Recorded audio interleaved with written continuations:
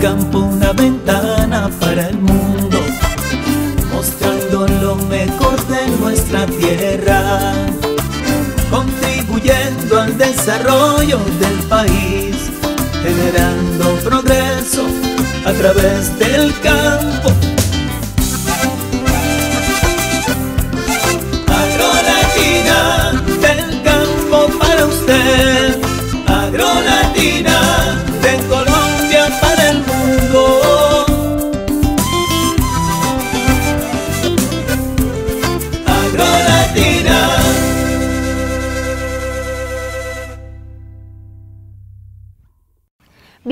Al programa dedicado al sector agropecuario, AgroLatina. En este espacio usted podrá ver toda la esencia del campo de los distintos departamentos que conforman la región Caribe. Puede vernos de lunes a viernes a partir de las 5 de la mañana por la señal de nuestro canal regional Telecaribe. Recuerde, nosotros somos AgroLatina, del campo para usted.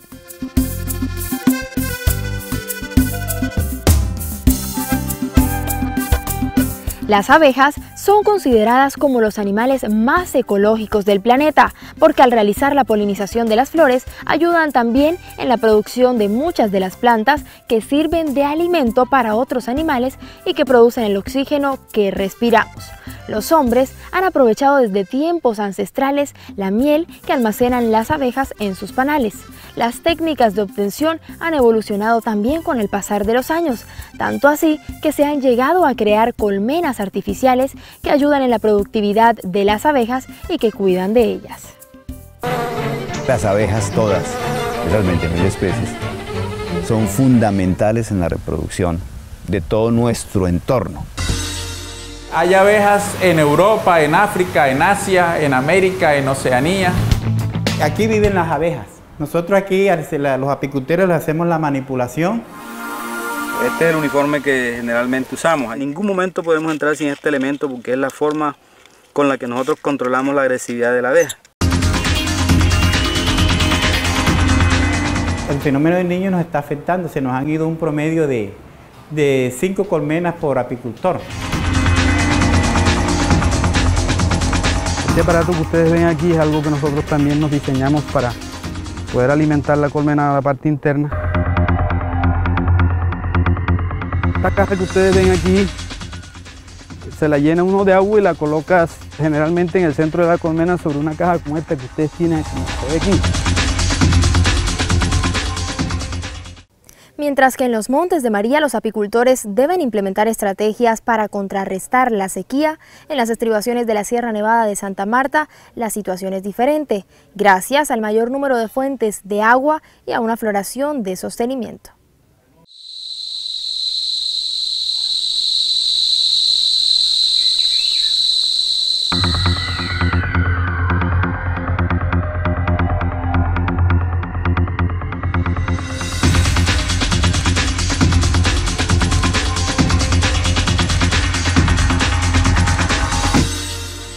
Primero que uno hace es tener identificadas las colmenas que tienen los cuadros con miel aperculada. Nosotros utilizamos una cámara que tiene un fondo de madera porque la idea es que los cuadros no entren en contacto con la tierra. Para la extracción de miel el tema del humo es fundamental. Nosotros siempre recomendamos aplicación de poco humo para que la miel no vaya a sufrir ningún proceso de contaminación por humo.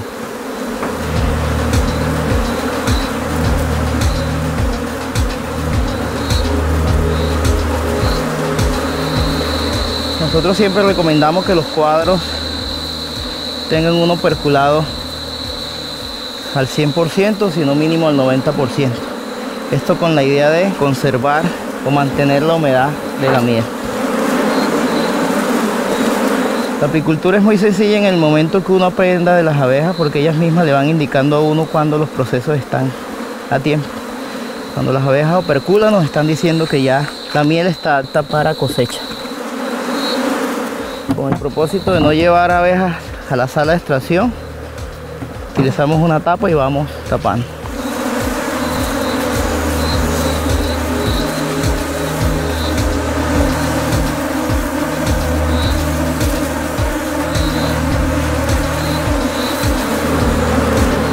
Aproximadamente la producción es de 2 kilos.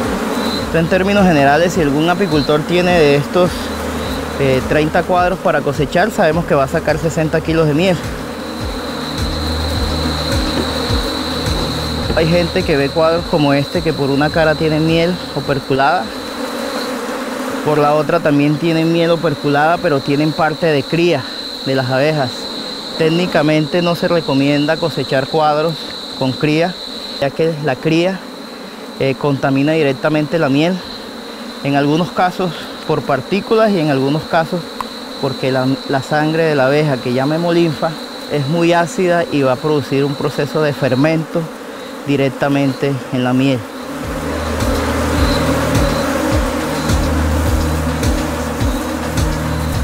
Después que retiramos los cuadros, simplemente tapamos.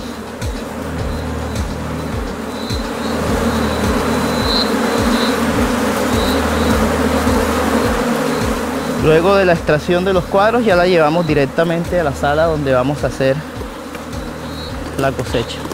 En esta parte uno aplica cierta cantidad de humo para que lleguen muy pocas abejas a la sala donde se va a hacer la extracción.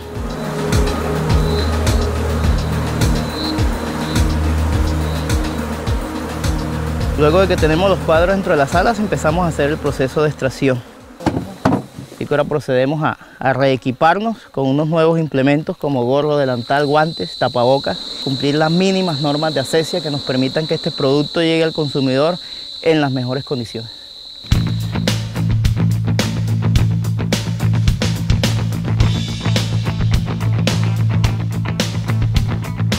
Nosotros en Sierra Nevada digamos que tenemos un, valor agregado bien importante y es que nosotros dentro de los procesos de apicultura no usamos ningún tipo de alimentación artificial en ningún momento.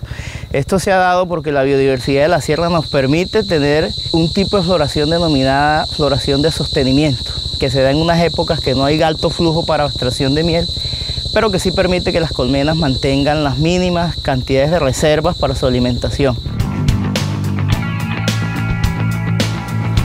A nivel de Sierra Nevada, simplemente por normas técnicas, lo que hacemos es colocar apiarios cerca, mínimo 500 metros de microcuencas, caños, donde ellas puedan llegar a beber agua. Y por tener eh, una oferta de, caños o microcuencas bien alta, no, no, hay necesidad de, de alimentar o suministrar bebederos a ellas cerca de donde están. Utilizamos desoperculadores que tienen las aspas en acero inoxidable. Utilizamos una centrífuga totalmente en acero inoxidable. Llevamos la miel a unos tanques. Se utilizan únicamente para alimento, en este caso los tanques los utilizamos solo para miel y se hace un proceso de prefiltrado, ¿cierto? Con un filtro también totalmente en acero inoxidable. Para el proceso de extracción nosotros utilizamos una bandeja apta para alimentos. El desoperculado básicamente lo que busca es retirar una lámina de cera que ella tiene y asimismo nos permita que quede la miel expuesta para que la centrífuga la extraiga totalmente.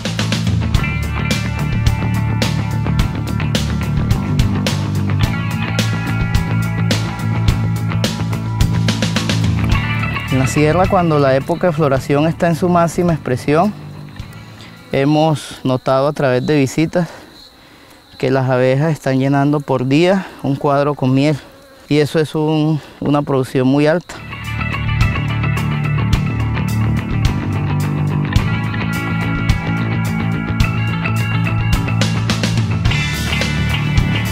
Este proceso se hace en cada uno de los cuadros.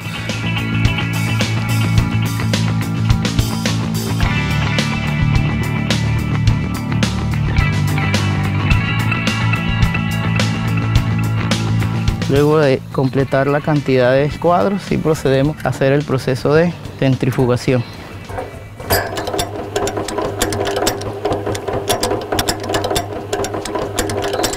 Se centrifuga alrededor de unos 30 segundos aproximadamente. Y de ahí procedemos a hacer el proceso de volteo de los cuadros.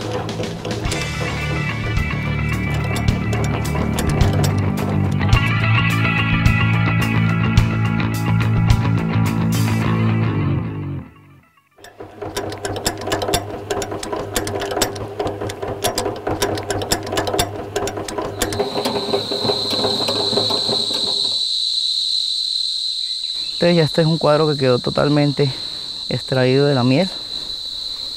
Lo importante del movimiento de la centrífuga suave es que nos permite que los cuadros queden intactos. Entonces los devolvemos a la colmena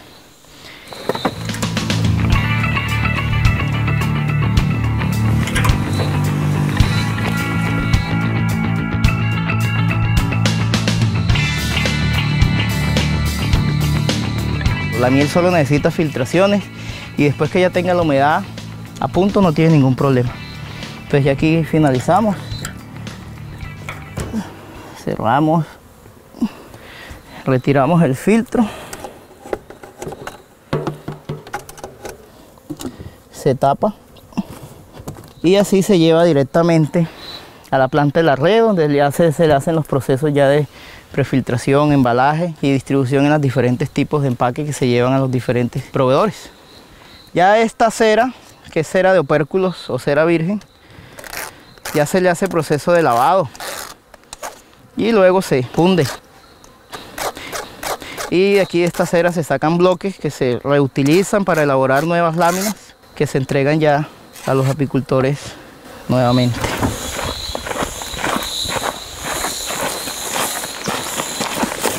Y vamos con la miel para la planta.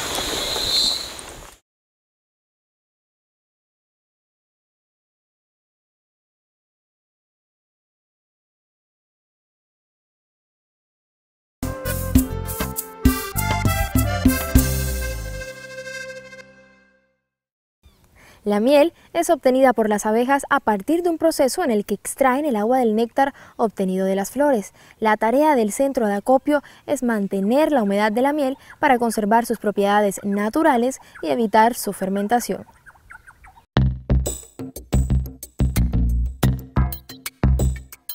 En este momento estamos recibiendo una pipina de miel, entonces le asignaremos el consecutivo. Estábamos en el 108, entonces asignamos el 109. Con este número manejamos lo que es la trazabilidad de la miel. Procedemos a tomar la humedad y los grados bris de la miel. Con este equipo, que se llama refractómetro, medimos la humedad, la cual que debe estar entre un rango de 15.5 y 19.5% de humedad. Nuestros tanques que vienen de campo vienen pues un poquito empolvados porque el tema del transporte y toda la cuestión, entonces nosotros aquí lo limpiamos un poco tomamos la miel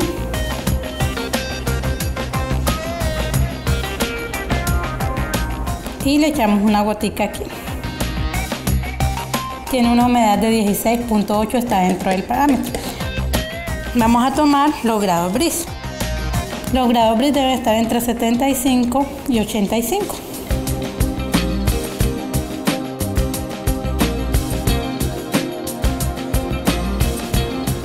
81.7, está dentro del rango. Con un rótulo, lo rotulamos. Ahora vamos a pesarla. El peso de esta miel es de 30.82. Le restamos un kilo, que es lo que pesa el tanque, y tendría un peso de 29.82. Después de que la hemos pesado, esta miel pasa al área de al lado, que es la zona de almacenamiento de materia prima. Y ya está aquí para ser filtrada y envasada. Estas son las cubetas de filtrado. Tenemos un, un triple filtro en acero inoxidable superpuestos, cada uno más fino. Es la forma como quitamos de la miel la, cera que viene en ella y las abejitas que también pueden venir en la miel. Bueno, procedemos a tapar perfectamente por cuanto la miel es higroscópica, es decir, absorbe la humedad del aire, razón por la cual la miel debe conservarse bien tapada. Acá tenemos una electrobomba, la cual sube la miel del tanque, la miel ya filtrada, al tanque decantador. Un decantador es un tanque destinado a que la miel repose por un periodo entre 24 y 48 horas para que de esta manera las partículas eh, pesadas desciendan y las livianas asciendan. Y luego, como pueden ver, ahí está la báscula, la cual acercamos, se abre la válvula y empezamos el proceso de envasado de la miel. Como puede verse, cada bidón de estos tiene un sticker que muestra el número del lote al cual pertenece la miel. Esto es supremamente importante por cuestión de trazabilidad. Saber la botellita de miel que vendemos, de dónde procede, quién fue el proveedor, cuándo llegó a la empresa, cuándo se filtró y cuándo se puso a la venta. Tenemos una pequeña envasadora semiautomática bastante eficiente.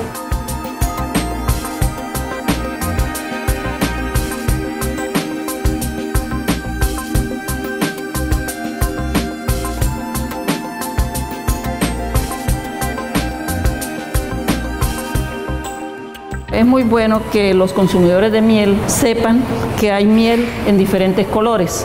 Acá tenemos una miel muy clara procedente de los Montes María y una miel supremamente oscura procedente de la zona de Córdoba. Ambas son miel totalmente puras, pero su origen botánico es totalmente diferente, porque es el origen botánico, es decir, las flores que las abejas visitan, las que finalmente dan el color de la miel.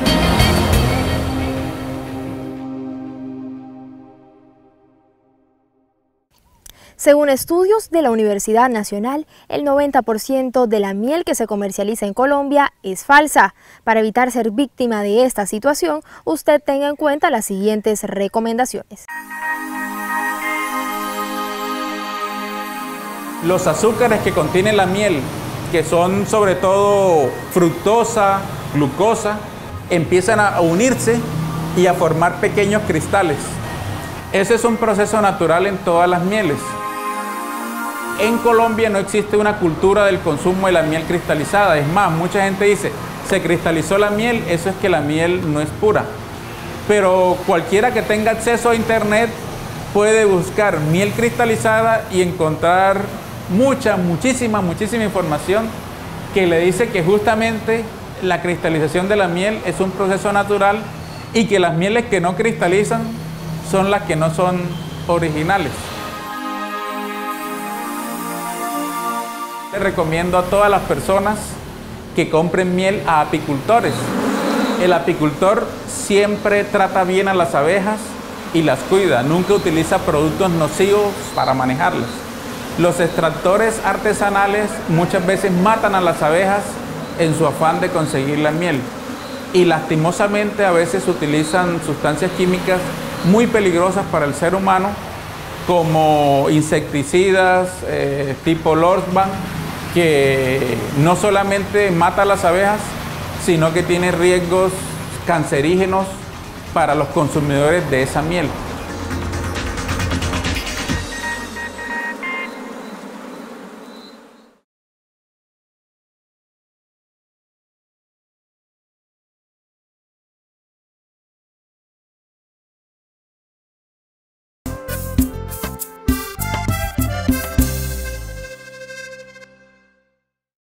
Son muchos los beneficios y propiedades que la miel de abejas ofrece al hombre. Estos van desde ser una fuente de energía hasta ayudar a curar procesos infecciosos. Los azúcares que conforman la miel son azúcares simples, de fácil asimilación, por lo que el ser humano no tiene que hacer un esfuerzo adicional para desdoblar las moléculas y poder hacer uso de ellas están disponibles muy rápidamente para alimentar al organismo.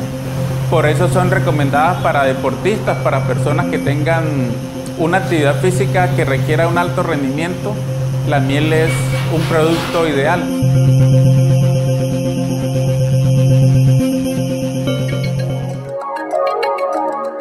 La miel de abeja también tiene propiedades eh, medicinales y terapéuticas. Cuando no se disponía de productos antibióticos, la miel cumplía una función esencial a la hora de curar heridas. Una herida abierta eh, puede ser tratada con miel de abejas y protegerla de infecciones. También por todo es conocido el uso de la miel como un agente que cuida de nosotros en un proceso infeccioso como la gripa, por ejemplo. La miel ha tenido muchos usos de tipo cosmético, sobre todo para el cuidado de la piel. En el caso de la miel que se microcristaliza, ella tiene propiedades exfoliantes para la piel que ayudan a cuidarla, ayudan a que luzca mejor. Muchísimas gracias por habernos acompañado durante estos 30 minutos de programa. Recuerden que tienen una cita con nosotros de lunes a viernes a partir de las 5 de la mañana por la señal de nuestro canal regional Telecaribe. Si desean conocer más sobre AgroLatina, pueden visitar nuestra página web o nuestras redes sociales. Y si su deseo es exponernos proyectos sobre el campo, pueden comunicarse con nosotros a nuestro correo electrónico o a nuestro teléfono que aparecen en pantalla. Somos AgroLatina del campo para usted.